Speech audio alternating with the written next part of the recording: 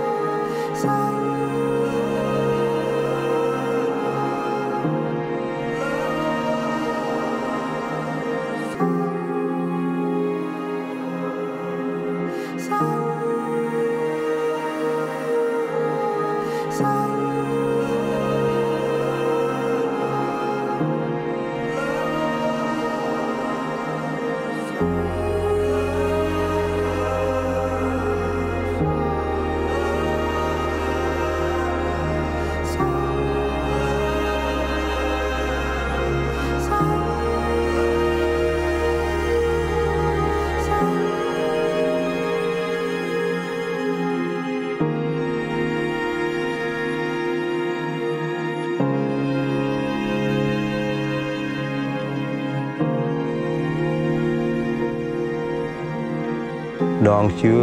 ក្នុងរយៈ7ថ្ងៃខ្ញុំទៅដងម្ដងបាទបណ្ឌិតដាក់ច្បាស់នៅចំណុចក៏បានដែរនៅគ្រូណែ7ថ្ងៃខ្ញុំទៅដងម្ដងបានមកកានហើយខ្ញុំយកមកលក់ឲ្យឈ្មោះនៅភូមិ Custom tenure is very important for indigenous uh, community here. Like community protected areas, we call CPA, is very important source of livelihood and income for indigenous community in this area because they can earn more from collecting anti-AP and other natural resources like samrong, uh, mushroom, other wild vegetable that they can make the income and livelihood to feed their family. So that's why it's very important in this community. And at the same time, communal land titling is also very important because they can manage and protect their land as collective land uh, management. So that's why it's very important for them to make sure they have the full right to access to the land and uh, natural resources as traditional ways. But it seems like it has the problem for the indigenous community here because the biodiversity corridor has been overlapping in this area that they need the solution and clear solution for them with the different stakeholders, especially the Department of Environment and the provincial officer uh, to come come and address the problem for the indigenous community and make sure they have the right to access the land and natural resources as it was before.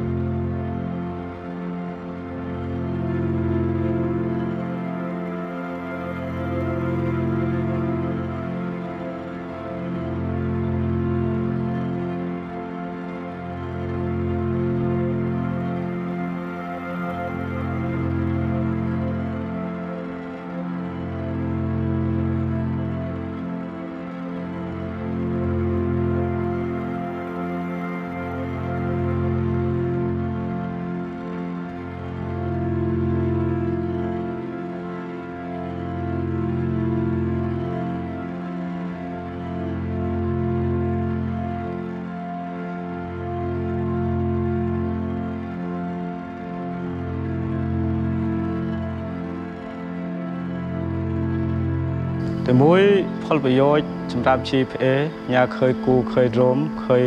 កបក្រងតើមដើមតើមួយចិត្តបាចិត្តកុំល់ហើយញ៉ាកបក្រងតំបន់ GPA ណាអត្ថប្រយោជន៍ផលប្រយោជន៍ញ៉ាថ្ងៃឃើញយួរកោទាំងក្នុងតំបន់ GPA ទីមួយផ្លេសចង